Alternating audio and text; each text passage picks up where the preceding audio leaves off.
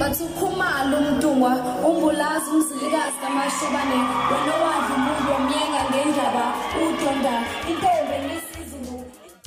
kulokuthi ukhalatha sengikhona sengiphakathi kuyona i-channel yakhe hamba phambili inkezo mina uveze kuntuthuko ungwakho malo bathi ilasbo namagumede. Mhlampe uma ngabe usemusha la ekhaya ngizocela uqinisekise ukuthi uyasubscribe ungakhohlwa ukukhomenta nokulike nokushare okuyikhona okukhulu kunakho konke. Bese uyangilandela kufacebook at radio inkezo za bafethu uma ngabe sibheke indaba ezihamba phambili laphana ngifuna sibheke udaba lohambo olubheke laphana e-uk kampungose ukhuzani umfo kampungose laphana abaningi abantu abakhuluma ngalezi ndawo lapha ey'nkundleni yokuxhumana ikakhulukazi ku-facebook okuyiyona nkundla engicabanga ukuthi sibaningi esiyisebenzisayo lapha noma esigxile eh, kuyona. Abantu abaningi babaphawula laphana bathinta elolu daba ukuthi ukuhamba kukamthandeni laphana ekhuzeni eh laphana e-UK ikhona okuvulela ukhuzani amasango yokuthi naye athole leli thuba eliyinqayizivele kuzokhumbuleka ukuthi umthandeni ekunenyama interview esabalele enkundleni zokuxhumana elakade khona khonzela abaculi asebenze kanye nabo laphana la e-South Africa. Okubale khona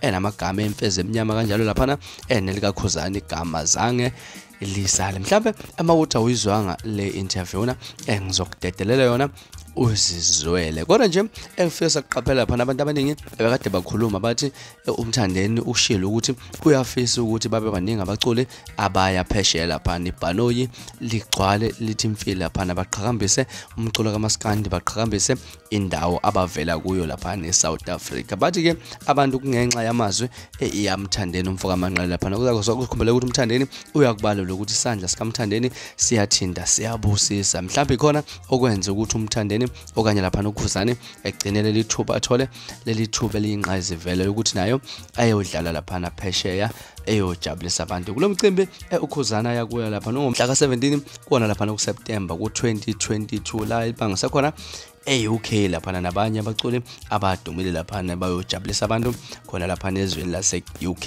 ukubaluleka ukuthi amathikithi aseqaleni impela atholakala eyadayisa ubuthaphuthaphu laphana uma ngabe ulifuna waseshiya inombolo laphana nokuthi libiza kangakanani. Bafethu izona ndaba ezihamba phambili namhlanje esinilethela zona zishisa. Mhlawumbe kuthini kwakho ukuphawula amazwi kamthandeni umfoka amanqele eh noma mhlawumbe inhlanhla sikamthandeni ezimvulelile ikhuzani laphana ukuthi agcine ethola leli thuba lokuthi ahambe eyojabulisa abantu ephesheya. Noma mhlawumbe nje bekuvele kulotshiwe ukuthi ukhuzane kumele ahambe eyojabulisa abantu. Asihlale comment section sidingide lolu daba. Ngaza kwethu zona ndaba ezihamba phambili namhlanje kwezisenkezweni ningabe nisakhohlwa ukusubscribe nokulike kanjalo futhi nokushare okuyikhona okukhulu kunakho konke. Nibe nosuku olumnandi ngithanda kakhulu.